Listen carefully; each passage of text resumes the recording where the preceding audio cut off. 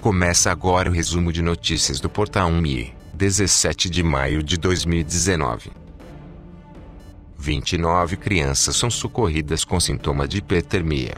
Na sexta-feira pela manhã, 29 crianças de uma escola primária foram socorridas por ambulância. Eles tiveram um mal-estar durante treino. Sul-americanos são presos com drogas em Mi. A polícia de Mi informou sobre a prisão de três sul-americanos, incluindo um estudante, suspeitos de uso e posse de drogas. Primeira cerimônia do novo imperador. A cerimônia de oferecimento de credenciais é realizada para oficializar o início das atividades de um embaixador estrangeiro no Japão. Água em nível crítico. Reservatório de Haiti com apenas 2,7%. O nível da água, no reservatório que abastece a região leste de Mikau é grave. Ele pode secar no domingo ou segunda-feira se não chover. Economia de água. Crianças de creche evacuadas por incêndio em templo vizinho. Um templo de Okazaki pegou fogo na sexta-feira, e as crianças da creche vizinha foram evacuadas. Acusação pede dois anos de pena para a mulher que omitiu agressões à filha. A irmã da menina de 10 anos que morreu em decorrência da agressão do pai, responde pelo crime de omissão diante da violência do marido. Festival das Rosas em Hiroshima. Fukuyama estará com eventos com o tema Rosas, em várias partes da cidade. Veja onde fica o parque para apreciar as mais de 5 mil roseiras. Festival de Comidas Ardidas. Em um único espaço em Tóquio comidas chinesa e tailandesa, além de outros países, são um paraíso para quem curte muita pimenta ardida. Incêndio de mais de 30 horas, máscara no rosto e janelas fechadas. O incêndio, no local de armazenamento de resíduos em Ibaraki, sofreu um incêndio na manhã de quarta-feira, com chamas e muita fumaça, por mais de 30 horas.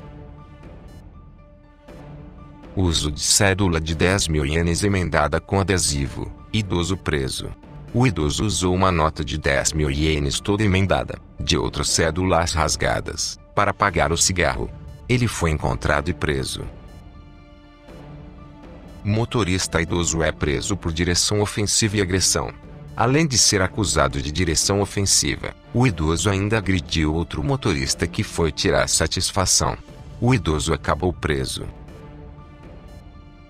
7-Eleven venderá acessórios da Apple.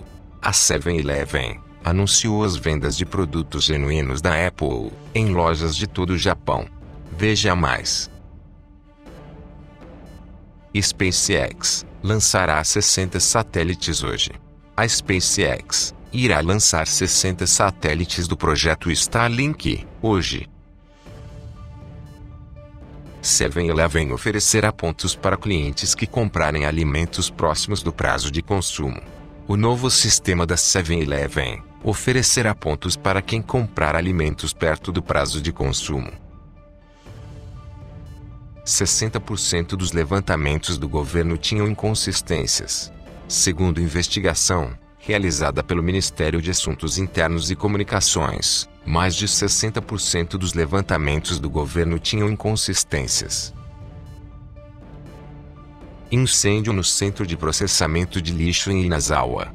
Estudantes estavam fazendo visita nas instalações, mas todos foram evacuados.